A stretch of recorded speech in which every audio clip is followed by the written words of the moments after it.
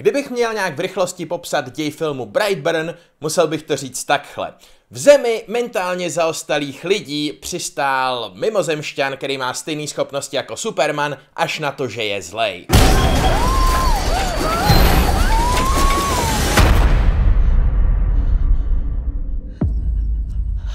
I wanted you good, Mom. I do.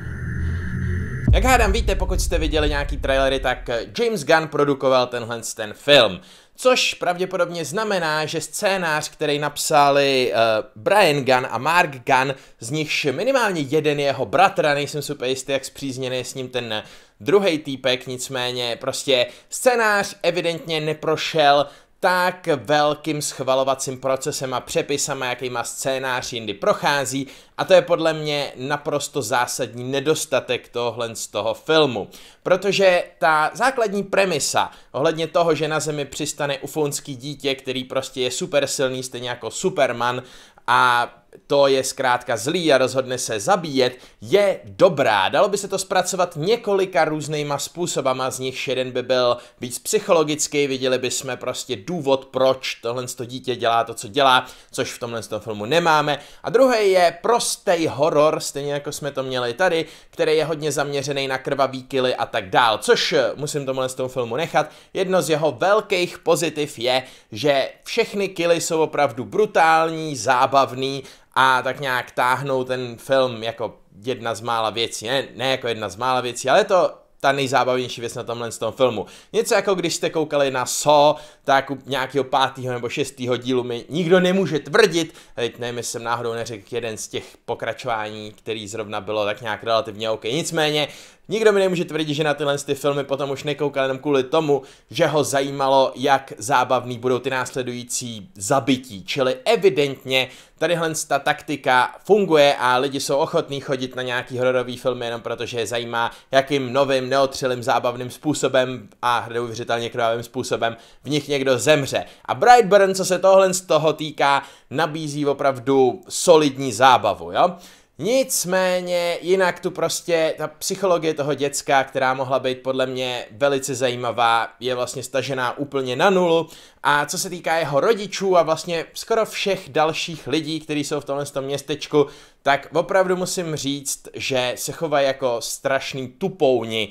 A já vím, že rodiče mají tendence bránit svoje dítě, a to je naprosto přirozený, jenže normální rodiče brání svoje biologické dítě, o kterém vědí, odkud jako vzešlo, zatímco tadyhle ty rodiče, který prostě mají neustále víc a víc indicí ohledně toho, že s jejich synkem není něco v pořádku, jsou prostě, sorry, my jsme se v tom kyně řechtali jak idioti u tuny scén, protože nám prostě přišlo, že je absolutně nereálný, jak moc tupí jsou veškerý lidský postavy. Což samozřejmě totálně zabíjí, aspoň pro mě, veškerý napětí, který v některých scénách sice docela bylo, ale i tam prostě ty lidi v ohrožení života se opět zachovali obvykle dost debilním způsobem, nebo aspoň prohodili nějakou totálně idiotskou hlášku, po který jsme se s kámošem se kterým jsme na to s Fílou začali smát a prostě eh, výsledek samozřejmě byl, že se nikdo z nás nebál ani trochu, nicméně eh, bavili jsme se docela dobře a to je prostě asi pro mě osobně věc, eh, která tenhle ten film tak nějak očištil od toho, aby byl úplně vtipostrofa nebo něco podobného ten, ta zábavná hodnota v něm zkrátka je a opravdu jediný, co je problém, je scénář. Protože herecký výkony jsou třeba dost solidní. Elizabeth Banksová i David Denman v roli rodičů odvádí dobrou práci, mají mezi sebou solidní chemii a člověk by jim opravdu věřil, že jsou zamilovaný pár.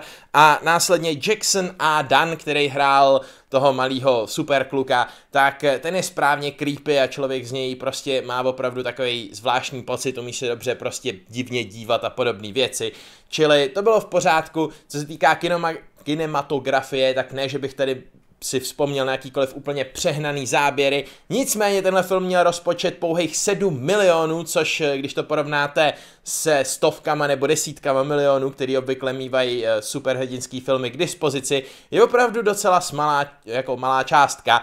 A vzhledem k tomu ty efekty jsou dost úžasný, opravdu nic z toho nevypadá špatně. Teď samozřejmě z části je to díky standardním trikům, jakože spousta věcí se odehrává ve tmě a tak dál. A potom samozřejmě nemusíte prostě nic animovat tak velkýho, protože prostě je tma, takže člověk normálně vidí jenom po takový šmouhy, prostě když na to přijde a to je prostě cool shit, jako ten film rozhodně nevypadá jako, že by stál 7 milionů, řekl bych, že vypadá minimálně na 20 nebo 30, což prostě si zaslouží obří palec nahoru.